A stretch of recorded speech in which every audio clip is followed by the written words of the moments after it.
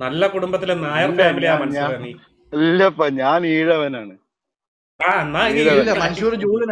ഞങ്ങൾ ഈഴവനാണ്. തറവാടി തറവാടില്ലാത്ത തറവാടില്ലാത്ത പണ്ട് തറവാടില്ലാത്ത ഈഴവരാണ്. അല്ല മുസ്ലിങ്ങളും തറവാടില്ലാത്തത് കൊണ്ടല്ല. തറവാട് തീയിട്ട് നശിപ്പിച്ചു. മുസ്ലിങ്ങളും തറവാടിനെ നശിപ്പിച്ചു. മുസ്ലിങ്ങളും ഈഴവരും തറവാടില്ലാത്ത ആളുകളാണ്. ആ കൂട്ടത്തിൽപ്പെട്ടാണ് ഞങ്ങൾ.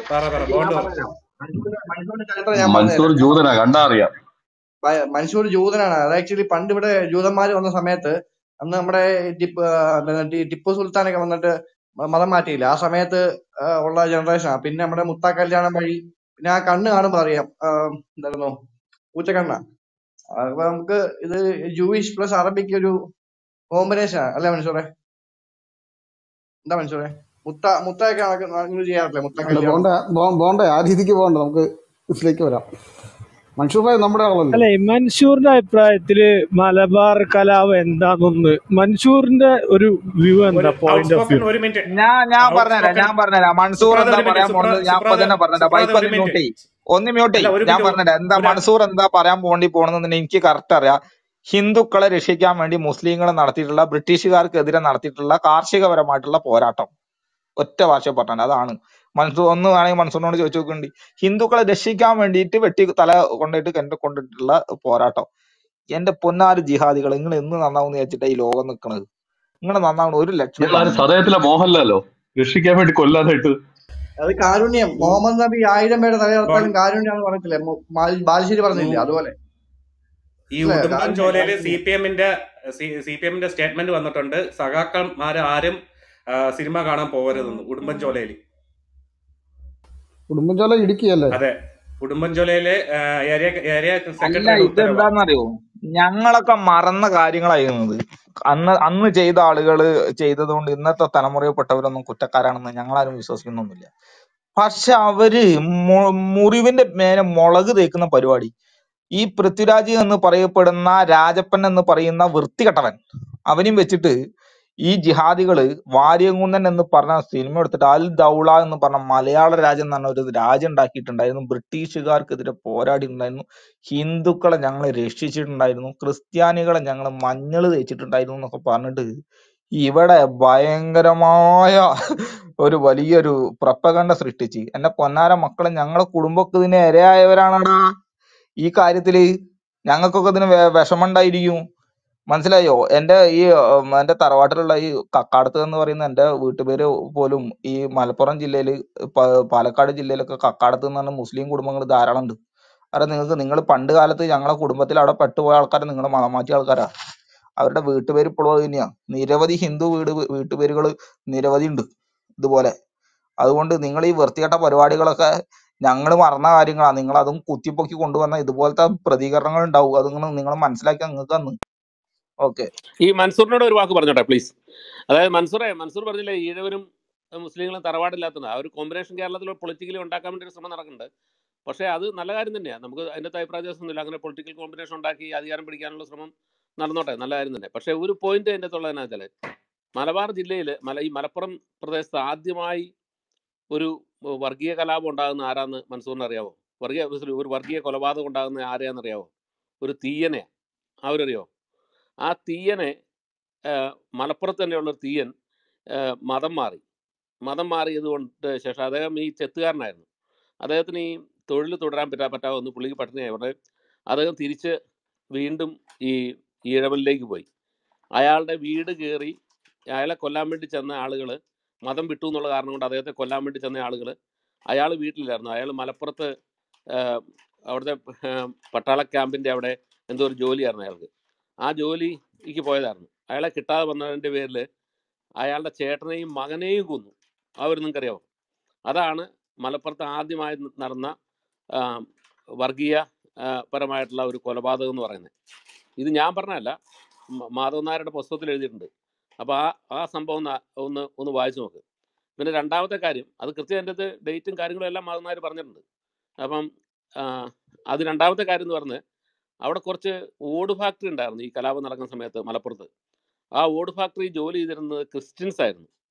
ക്രിസ്ത്യൻസ് ആയിട്ടുള്ള ആളുകളെ മുഴുവൻ അവരുടെ മേൽ ചാർത്തിയ പട്ടം എന്താണെന്ന് അറിയാമോ അവരെല്ലാം രാജ്യദ്രോഹികളാണ് ബ്രിട്ടീഷുകാർക്ക് വേണ്ടി ഒറ്റുകൊടുത്തവരാണെന്ന് പറയും. അതെല്ലാം ലോകത്ത് ഏത് കലാപം നടന്നാലും ഉപയോഗിക്കുന്ന സ്ട്രാറ്റജി അത്. അത് അർമേനിയൻ കലാപത്തിൽ നോക്കിയാലും ഇതേ സ്ട്രാറ്റജി ഉണ്ട്. റഷ്യക്ക് വേണ്ടി ചാരപ്പണി ചെയ്തവർന്നാണ് അവിടെ ഉണ്ടായിരുന്ന അർമേനിയക്കാർ അർമേനിയൻ ക്രിസ്ത്യൻസിനോടുള്ള ഒരു ഒരു അവർക്ക് വേണ്ടിയുള്ള ആരോപണം പറയുന്നത്. ടോം ജോസ് സാറേ ഞാൻ അല്ലല്ല ഞാൻ പറഞ്ഞു തരട്ടെ എന്നിട്ട് പറഞ്ഞു തന്നിട്ട് പറഞ്ഞു. അപ്പൊ അതുകൊണ്ട് ഈ ഈഴവരുമായിട്ടുള്ള കോമ്പിനേഷൻ പോകുമ്പം ഇങ്ങനെ ചില ചരിത്രങ്ങളൂടെ അതിന്റെ പുറകിലുണ്ട്. അത് ആ മാധവൻ നായർ വളരെ കൃത്യമായിട്ട് എഴുതിയിട്ടുണ്ട്. ഈ മാധവൻ നായർ എന്ന് പറഞ്ഞാൽ ആളെ പറ്റി കൂടി കൂടെ ഒരു വാക്ക് പറയാം എന്റെ ഓർമ്മയിൽ വായിച്ചു കിടക്കുന്നത്. അതായത് ഈ Madhavan Nair K P C president ആയിരുന്ന ആളാണ് കെ പി സി പ്രസിഡന്റ് ആയിരുന്ന സമയത്ത് ഇദ്ദേഹത്തിന് ആശുപത്രിയിൽ ഇയാൾ പനി പിടിച്ച ആശുപത്രിയിലായി തിരുവനന്തപുരത്ത്. അപ്പോൾ അയാളുടെ ഒരു സത്യസന്ധതയും കൂടെ കൂടിയാണ് ഈ പറഞ്ഞത്. അയാൾ എത്രമാത്രം ഉന്നതനായിരുന്നു എന്ന് പറയാനും കൂടെ കൂടിയാണ് പറഞ്ഞത്. അയാൾ ഇങ്ങനെ ഒരു കളവ് എഴുതി വെക്കാനുള്ള ഒരു സാധ്യതയുള്ള ഒരാളല്ല. അത് ചൂണ്ടിക്കാണിക്കാനായി പറയുന്നത്. കാരണം അയാൾ ഈ തിരുവനന്തപുരത്ത് ആശുപത്രിയിൽ കിടന്ന സമയത്ത് കുളത്തുങ്കൽ പോത്തൻ എന്ന് പറഞ്ഞൊരു മുതലാളി ഉണ്ടായിരുന്നു. ഈ കുളത്തുങ്കൽ പോത്തൻ അയാളെ പോയി കാണാൻ വേണ്ടി ചെന്നു. അപ്പോൾ ആ കാലത്ത് ഈ മാധവ് നായർക്ക് രണ്ടായിരം രൂപ ഈ കുളത്തുങ്കൽ പോത്തൻ എടുത്തു കൊടുത്തു. എടുത്തു കൊടുത്തു കഴിഞ്ഞപ്പോൾ അദ്ദേഹം ഈ കുളത്തിങ്കൽ പോത്തൻ പോയി കഴിഞ്ഞപ്പം ആ രണ്ടായിരം രൂപ ഇയാളുടെ വാർഡിൽ കിടന്ന പാവപ്പെട്ട മനുഷ്യർക്ക് മുഴുവൻ വീതിച്ചു കൊടുത്തയാളാണ് ഈ ഈ മാധവൻ നായർ എന്ന് പറഞ്ഞ കോൺഗ്രസ് നേതാവ്. അപ്പോൾ അയാൾ ഒരു കളവ് എഴുതി വെക്കേണ്ട കാര്യമില്ല. അയാ അതുകൊണ്ടാണ് ഞാൻ അയാളുടെ പുസ്തകം വായിച്ചിട്ട് ഇത് പറഞ്ഞത്. അയാളുടെ പുസ്തകത്തിൽ പറഞ്ഞ കാര്യം ഇത് അയാൾ ആ കിട്ടിയ രണ്ടായിരം രൂപ അന്ന് രണ്ടായിരം രൂപ എന്ന് പറഞ്ഞാൽ ഇന്നത്തെ ഒരു രണ്ട് കോടി രൂപയുടെ വില കാണും. അല്ലെങ്കിൽ ഒരു ഇന്നത്തെ ഒരു രണ്ട് ലക്ഷം രൂപയുടെയെങ്കിലും വിലയുണ്ട് അന്നത്തെ രണ്ടായിരം രൂപയ്ക്ക്. ആ പൈസ അവിടെ കിടന്ന മുഴുവൻ പാവങ്ങൾക്കും വിധിച്ചു കൊടുക്കുകയത് ഈ മാധവൻ നായർ. അപ്പോൾ അതുകൊണ്ട് അങ്ങനത്തെ മനുഷ്യനാണ് അത് എഴുതിയത്. അപ്പോൾ അതുകൊണ്ട് അയാൾ പറയുന്നത് നമുക്ക് അവിശ്വസിക്കേണ്ട കാര്യമില്ല. തന്നെ ഈ വാര്യം കുന്നനെ നേരിട്ട് കണ്ട് സംസാരിച്ചിട്ടുള്ള ഒരാൾ എഴുതിയിട്ടുള്ള അയാൾ മാത്രമേ ഉള്ളൂ. ഈ വാര്യം കുന്നൻ ഈ കലാപത്തിന്റെ നടുക്ക് അദ്ദേഹത്തെ അദ്ദേഹം ഈ വാര്യം കുന്നനെ കണ്ട് നിങ്ങൾ ഈ കലാപം അവസാനിപ്പിക്കണം. ഇത് ശരിയല്ല. ഇത് അഹിംസയ്ക്ക് ചേർന്നതല്ല. ഇത് കോൺഗ്രസിന്റെ നയങ്ങളുമായി ചേർന്ന് പോകുന്നതല്ല. അതുകൊണ്ട് താങ്കൾ ഇത് അവസാനിപ്പിക്കണം എന്ന് പറഞ്ഞപ്പം വാരിയംകുന്നം പറഞ്ഞത് തുടങ്ങിപ്പോയി. ഇനി നിർത്താൻ നിവൃത്തിയില്ലെന്നാണ് പറഞ്ഞത്. അപ്പോൾ അതുകൊണ്ട് അയാൾ എഴുതിയ പുസ്തകത്തിൽ പറഞ്ഞ കാര്യം ഞാൻ ഈ മനസ്സിലായി പറഞ്ഞത് അതുകൊണ്ട് അതൊക്കെ ഒന്ന് പോയി വായിക്കുക അപ്പോൾ അതിന്റെ ചില സത്യങ്ങൾ ഇല്ലാതിരിക്കാൻ സാധ്യതയില്ല. Thank you. സംഘി മാധവൻ നായർ. എന്തായാലും സി പ- പി എമ്മിന്റെ ഭാഗത്ത് നിന്ന് ഇതൊക്കെ വന്നു തുടങ്ങി. അവരെ എല്ലാ സഹാക്കന്മാരുടെ അടുത്തും അവർക്കൊരു സ്ട്രിക്റ്റ്ലി ഓർഡർ കൊടുത്തിട്ടുണ്ട്. ഇപ്പൊ പുറത്ത് വന്നിരിക്കുന്നത് ഉടുമ്പൻചോലയിലുള്ള ഒരു ഏരിയ സെക്രട്ടറിയുടെ ഏരിയ സെക്രട്ടറി അവർ ഇത് ഇറക്കിയതാണ് സ്റ്റേറ്റ്മെന്റ് ഇറക്കിയതാണ്. സഹാക്കന്മാരാരും സിനിമ കാണാൻ പോകരുതെന്ന് ഫാമിലി ആയിട്ടോ ഒറ്റയ്ക്കോ ആരും സിനിമ കാണാൻ പോകരുത്. ഇത് എങ്ങനെയെങ്കിലും പൊളിക്കുക എന്ന ലക്ഷ്യം ജിഹാദികളെ കാട്ടും. ഇപ്പൊ സി പി എമ്മിനായിരുന്നു ആവശ്യം. ഞാനിന്ന് കാണാൻ പോകും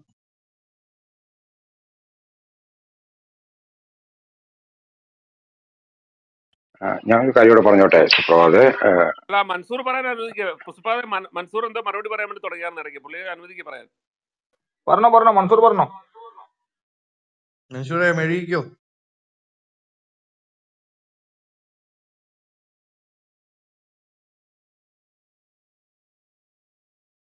Okay okay.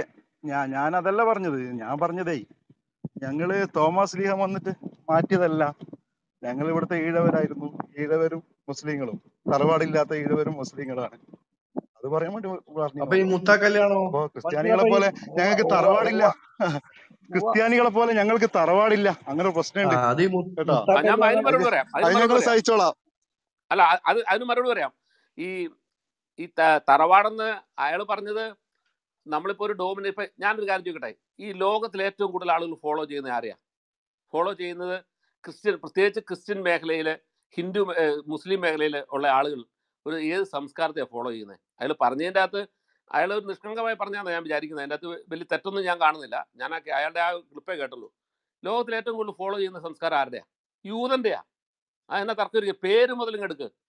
പേര് മുതലും എടുത്താൽ ഈ ക്രിസ്ത്യൻ സമൂഹത്തിലും അതുപോലെ തന്നെ മുസ്ലിം സമൂഹത്തിലും ഫോളോ ചെയ്യുന്ന കൾച്ചർ ആരുടെയാ? യൂതൻ ഡോമിനേറിങ് തന്നെ എന്നാ തർക്കമിരിക്കുന്നത് അതാ പറഞ്ഞ യൂതന്റെ സംസ്കാരം ഫോളോ ചെയ്യുന്നതുകൊണ്ടാണ് ഇന്ന് ഈ ലോകത്തുള്ള മിക്കവാറും പേരുകളുടെ സിറ്റീസിന്റെ പേരുകൾ എടുത്താൽ പോലും അത് യൂതന്റെയാ. ഫിലാഡൽഫിയ എവിടുന്ന് വന്നു? ഇതുപോലെ ഈ പറഞ്ഞ സ്ഥലങ്ങളൊക്കെ എവിടുന്ന് വന്നു? മിക്കവാറും എല്ലാം യൂതന്റെ പേരിൽ നിന്ന് വന്നേക്കുന്നതാ. മനസ്സിലായോ? അപ്പൊ അതുകൊണ്ട് ആ അങ്ങനെ ഒരു സംസ്കാരം ഒരു സമൂഹത്തിനുണ്ടെന്ന് പറഞ്ഞു എന്ന് പറഞ്ഞ് യൂതൻ ലോകത്തിന് മുഴുവൻ ഡോമിനറിങ് ചെയ്യുന്നുണ്ടോ? ലോകത്തിന്റെ മുഴുവൻ കൺട്രോൾ യൂതന്റെ കയ്യിലാണോ അല്ലല്ലോ. അപ്പൊ അതുകൊണ്ട് അങ്ങനെ ഒരു കാര്യം പറഞ്ഞു എന്ന് ഓർത്ത് തെറ്റൊന്നുമില്ല. അവന്റെ സംസ്കാരത്തിന് അല്ലെ അവൻ ബിൽഡ് ചെയ്ത സംസ്കാരത്തിന് ലോകത്ത് പ്രാധാന്യം ഉണ്ടായിട്ടുണ്ടെന്ന് പറഞ്ഞതിൽ തെറ്റൊന്നുമില്ല. പിന്നെ ഈ പറഞ്ഞ ഇവിടുത്തെ ക്രിസ്ത്യാനികൾ എന്ന് പറഞ്ഞ് നടക്കുന്ന ആളുകളുണ്ടല്ലോ. ആ പുറത്തോണ്ട് നിൽക്കട്ടെ സോറി ഒരു ഫോൺ വന്നായിരുന്നു. അതാ അമ്മ പുറത്തോണ്ട് I think she's waiting outside എന്നാ ഒരു ചോദ്യം ചോദിച്ചോട്ടെ? അല്ല ഒരു ഭാഗം ഇത് പറഞ്ഞു തരത്തോ ഞാൻ ഞാൻ പറഞ്ഞു തീർക്കാം. എന്നിട്ടേ അപ്പൊ ഈ ഈ പറഞ്ഞ ഈ ഈ പറഞ്ഞ ക്രിസ്ത്യാനികളിൽ നല്ലൊരു ശതമാനം ക്രിസ്ത്യൻസിന്റെ ചരിത്രം എടുത്ത് വായിച്ചാൽ കേരളത്തിലെ ഏറ്റവും കൂടുതൽ ക്രിസ്ത്യാനികൾ കൺവെർട്ട് ചെയ്തിട്ടുള്ള ഈഴവരിൽ നിന്നും അതുപോലെ തന്നെ ബാക്ക്വേർഡ് കമ്മ്യൂണിറ്റിയിൽ നിന്നാണ്. പിന്നെ നായന്മാരിൽ നിന്നൊക്കെ ഉണ്ട് ഈ ബ്രാഹ്മണരിൽ നിന്നൊക്കെ പറഞ്ഞ ചുമ്മാ കെട്ടുകറിയാത് കാരണം ബ്രാഹ്മണൻ ഒരിക്കലും കൺവെർട്ട് ചെയ്യേണ്ട കാര്യമില്ല ആ കാലത്ത്. കാരണം ബ്രാഹ്മണൻ എന്നും ഇന്ത്യൻ കേരളത്തിന്റെ സമൂഹത്തിൽ കേരളത്തിന്റെ പരിപ്രേക്ഷത്തിൽ എപ്പോഴും അവർ ഡോമിനേറിംഗ് പീപ്പിൾ ആയിരുന്നു. അവർ സമൂഹത്തെ കൺട്രോൾ ചെയ്തിരുന്ന സമ്പത്തിന്റെ മുഴുവൻ ഉടമസ്ഥരുമായിരുന്നു അവർ അതുപോലെ തന്നെ രാജാവ് അവർക്ക് ആ കോൺസെപ്റ്റ് രാജാവ് രാജ്യം ഭരിക്കുന്ന തന്നെ ബ്രാഹ്മണന് വേണ്ടിയായിരുന്നു. മനസ്സിലായോ? അപ്പൊ ആ തരത്തിൽ ഉള്ള ഒരു കോൺസെപ്റ്റ് ഉള്ള ഒരു സമൂഹത്തിൽ നിന്ന് ബ്രാഹ്മണർ വളരെ പെട്ടെന്ന് വന്ന് വലിയ റാൻഡം ബ്രാഹ്മണരുടെ ഗ്രൂപ്പ് വന്ന് കൺവെർട്ട് ചെയ്യുന്നൊക്കെ പറഞ്ഞാൽ അതൊന്നും ഒരു ഒരു ഒരു കാര്യമില്ല കാര്യമില്ല ബാക്ക്വേർഡ് കമ്മ്യൂണിറ്റീസിൽ നിന്ന് അവർ രക്ഷപ്പെടാൻ അവർക്ക് വിദ്യാഭ്യാസം കിട്ടാനും വേണ്ടി അന്നത്തെ ജാതി വ്യവസ്ഥയിൽ നിന്ന് രക്ഷപ്പെടാൻ വേണ്ടിയാണ് കൂടുതലും ഈ ആളുകൾ ക്രിസ്ത്യാനിറ്റിയിലേക്ക് കൺവെർട്ട് ചെയ്തേക്കുന്നത് അല്ലാതെ ബ്രാഹ്മണരാന്ന് പറഞ്ഞ് നടക്കുന്ന കുറേ ആളുകൾ പൊട്ടന്മാരെ അല്ലെങ്കിൽ ചുമ്മാ ചരിത്രത്തെ വളച്ചു പിടിച്ച് സാറാകാൻ വേണ്ടി നടക്കുന്നവരാണെന്ന് വിശ്വസിക്കുന്ന ആളാണ് ഞാൻ. കാരണം തോന്നുന്നു തോമാസ് ലീഗ കേരളത്തിൽ വന്നതിന് കൃത്യമായ ഒരു തെളിവുമില്ല ഒന്ന്. രണ്ടാമത്തെ കാര്യം എന്ന് പറയുന്നത് ഏഴാം നൂറ്റാണ്ട് മുതലാണ് ബ്രാഹ്മണർ ഈ കേരളത്തിൽ താമസമാക്കിയിട്ടുള്ളത്. അപ്പൊ പിന്നെ എങ്ങനെയാ ഈ തോമാസ് ലീഗയുടെ ചരിത്രവും ഈ ബ്രാഹ്മണ ചരിത്രവും തമ്മിൽ കോയിൻസൈഡ് ചെയ്യുന്നത്? ഇത് ശരിക്കും ഈഴവരും ബാക്ക്വേർഡും ആയിട്ടുള്ള നായന്മാരും ഉണ്ടായിരുന്നത് ഇല്ല എന്ന് പറയുന്നില്ല. അങ്ങനെയുള്ള ആളുകളും അവർക്ക് അന്ന് നായർ ശൂദ്രനാണ്. അപ്പോൾ ആ ഒരു ഘട്ടത്തിൽ അവർക്ക് ഒരു ഒരു രക്ഷപ്പെടലിന് വേണ്ടി അന്നത്തെ ജാതി വ്യവസ്ഥയിൽ നിന്ന് ക്രിസ്ത്യൻസിലേക്ക് കൺവേർട്ട് ചെയ്തിട്ടുണ്ടെന്നുള്ളത് ശരിയാണ്. അതുകൊണ്ട് ഈ തറവാടെന്നൊക്കെ പറഞ്ഞുകൊണ്ട് നടക്കുന്ന ക്രിസ്ത്യാനികൾ അല്ലെ ഞങ്ങൾ ബ്രാഹ്മണരാണെന്ന് പറഞ്ഞു നടക്കുന്നതിന് ഒരു കാര്യമില്ല അങ്ങനെ പറഞ്ഞു നടക്കുന്ന ആൾക്കാർ വെറുതെ ചരിത്രമായിട്ട് ഒരു ബന്ധമില്ലാത്തവരാണ് അത് ചുമ്മാ എഴുതി കൂട്ടിയിട്ടുണ്ടെന്ന് മാത്രമേ ഉള്ളൂ. അല്ലാതെ വിവരമുള്ള ചരിത്രകാരനായിട്ടുള്ള നമ്മുടെ ആ കോഴിക്കോടുകാരനുണ്ടല്ലോ. എന്നാ അതിന്റെ പേര് പറഞ്ഞു ഓക്സ്ഫോർഡിൽ പഠിപ്പിക്കുകയും ചെയ്തിട്ടില്ല. പഠിക്കുകയും ഓക്സ്ഫോർഡിൽ പഠിക്കുകയും പഠിപ്പിക്കുകയും ചെയ്തിട്ടില്ല. എന്നാ? എനിക്ക് ആൾക്കാരുടെ പേരെപ്പോഴും ഓർത്ത് കിട്ടിയില്ല. കോഴിക്കോട്ടുള്ള ആളാണ് അപ്പം അയാൾ ഓക്സ്ഫോർഡിലെ അധ്യാപനമായിരുന്നു അയാളൊക്കെ പറഞ്ഞിട്ടുണ്ട് വളരെ കൃത്യമായിട്ട് അദ്ദേഹത്തിന്റെ പുസ്തകത്തിൽ പറഞ്ഞിട്ടുണ്ട്.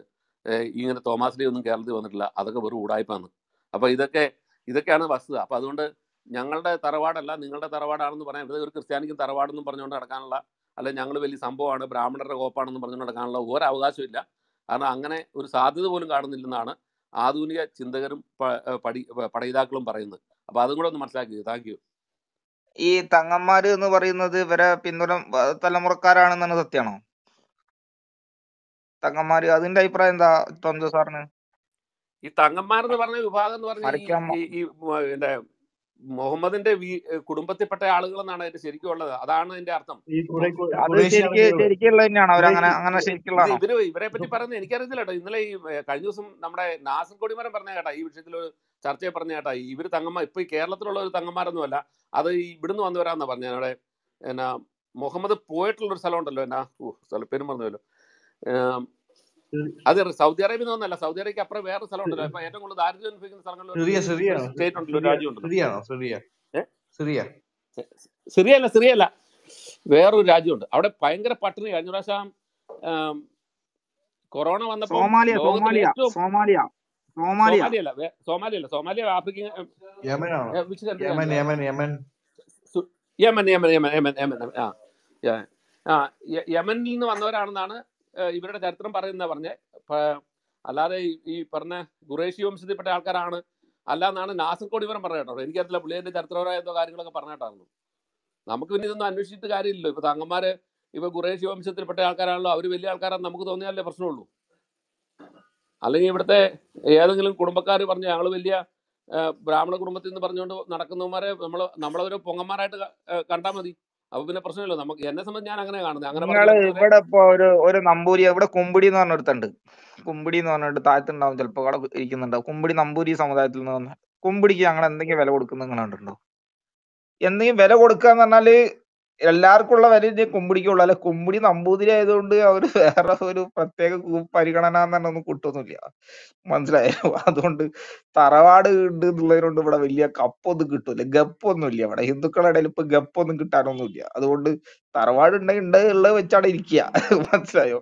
നമ്പൂതിരി നമ്പൂരി ആണെങ്കിൽ വളരെ സാംസ്കാരികമായി നിലവാരമുള്ള ആളാണ് നമ്മൾ ബഹുമാനിക്കണം. അതിപ്പം ആ അത് വേണം. അത് തീർച്ചയായിട്ടും വേണം. വിവേകമുള്ളവൻ അങ്ങനെ ബഹുമാനിക്കാറുണ്ടല്ലോ. ഇപ്പൊ ഞങ്ങൾ നിങ്ങളെ ഇവിടെ വരുന്ന സമയത്ത് ഞങ്ങൾ നിങ്ങളെ ബഹുമാനിക്കുന്നത് എന്തുകൊണ്ടാണ്? രാഷ്ട്രീയമൊക്കെ മറന്ന് ബഹുമാനിക്കുന്നതുകൊണ്ടാണ് അത് അങ്ങനെ ബഹുമാനിക്കുന്നേ. അത് ബഹുമാനിക്കൂ. അത് എല്ലാവരും ബഹുമാനിക്കൂ. അങ്ങനെ ഒരു നമ്പൂതിരി കുമ്പിടി ആ ഞാൻ പറഞ്ഞത് എന്താ വെച്ചാൽ നമ്പൂരി അതിനോട് കുമ്പിടിക്ക് എന്തെങ്കിലും ബഹുമാനം കിട്ടുന്ന വെച്ചാൽ കുമ്പിടി ഇങ്ങോട്ട് കയറിയാറുണ്ട് അതേ ഞാൻ പറഞ്ഞിട്ടുള്ളൂ. അല്ലേ സംസ്കാരമുള്ളവനും വിദ്യാഭ്യാസമുള്ളവനും വിവേകമുള്ളവനും സമൂഹത്തിൽ എന്തെങ്കിലും സംഭാവന ചെയ്യുന്നവനും സമൂഹത്തോട് കാരുണ്യത്തോടെ പെരുമാറുന്നവനും ദയ കാണിക്കുന്നവനും അവരെയൊക്കെ സമൂഹം ബഹുമാനിക്കും. അത് നാച്ചുറലാ അല്ലാതെ അതിന്റെ അത് ജാതി മതമൊന്നുമില്ല. അത് ഏത് ജാതിക്കാരനായാലും ബഹുമാനിക്കും അത്. അത് അതല്ലാതെ അതിന് ജാതി മതവും വെച്ചുകൊണ്ട് ഞാൻ മറ്റേ കൊമ്പത്തെ ജാതിക്കാരനാന്ന് പറഞ്ഞാൽ നമ്മൾ അവനെ കാണാൻ പോലും ശ്രദ്ധിക്കാൻ അവന്റെ കോൺട്രിബ്യൂഷൻ എന്താണെന്ന് നോക്കുള്ളൂ. അവരുടെ കോൺട്രിബ്യൂഷൻ എന്താണെന്ന് മാത്രം നോക്കുള്ളൂ. അതെ അതെ അതെ. അതാണ് ചെയ്യേണ്ടതും. അങ്ങനെയാണ് ചെയ്യണം. അല്ല ജാതി നോക്കിയിട്ട് ഇവിടെ ആരാ ഇവിടെ റെസ്പെക്ട് ചെയ്യാറുള്ളത് അങ്ങനെ ആരും ചെയ്യാറുണ്ടോ? അങ്ങനെ ആരും ചെയ്യാറൊന്നുമില്ല. ജാതി ജാതി ഉണ്ടെങ്കിൽ വീട്ടിൽ പോയി പറഞ്ഞാൽ മതി. ഇവിടെ ഒന്നും വരേണ്ട ആരും നമ്മൾ നമ്മളാരും അങ്ങനെ ജാതി നോക്കിയിട്ട് കുമ്പിടിക്കൊന്നും ഞങ്ങൾ അങ്ങനെ ഒന്നും ഒരു വിലവും കൊടുക്കാറില്ല. കുമ്പിടി നമ്പൂരി വിഭാഗത്തിൽപ്പെട്ടുള്ള ഒരാളാണ്. ആരോ വേറെ ആരോ പറഞ്ഞിട്ടാ ഞാൻ അറിയുന്നുണ്ട് അദ്ദേഹം പറഞ്ഞല്ല എന്നോട്. അങ്ങനെ അറിയുന്നത്. അങ്ങനത്തെ ഒരു പരിഗണന ഞങ്ങൾ കൊടുക്കാറൊന്നുമില്ല. അതിനിപ്പോ ആരൊക്കെ വന്നു കഴിഞ്ഞാലും കൊടുക്കാറൊന്നുമില്ല. ഇനിയിപ്പോ എന്തൊക്കെ പറഞ്ഞിട്ടും കാര്യമൊന്നുമില്ല. നേരെ മറിച്ചിട്ട് നല്ലപോലെ സംസാരിക്കുന്ന നല്ല രീതിയിൽ പെരുമാറുന്ന ആളുകളോട് നമ്മൾ റെസ്പെക്ട് ചെയ്യാറുണ്ട്. അങ്ങനെയൊക്കെ തന്നെയാണ് ടോം ജോസ് സാറെയൊക്കെ നമ്മൾ റെസ്പെക്ട് ചെയ്യുന്നത്. നമ്മൾ ആശയങ്ങളോടൊന്നും പല ആശയങ്ങളും യോജിക്കുന്ന ഒരാളൊന്നല്ല ടോം ജോസ് സാർ പല ആശയങ്ങളോടും നഖശികാന്ത എതിർപ്പുണ്ട് ഉള്ളത് പല കാര്യങ്ങളും വല്ലാതെ വെള്ള പൂശിക്കാളും ചെയ്യും. അങ്ങനത്തെ ഒരു സ്വഭാവം ഉണ്ട് ടോം ജോസ് സാറിന്. പക്ഷെ ഞങ്ങൾ ബഹുമാനിക്കുന്നത് എന്താ? തങ്ങളെ മാന്യത ഉള്ളത് കൊണ്ടാണ് അത്രേ ഉള്ളൂ. ഓക്കെ.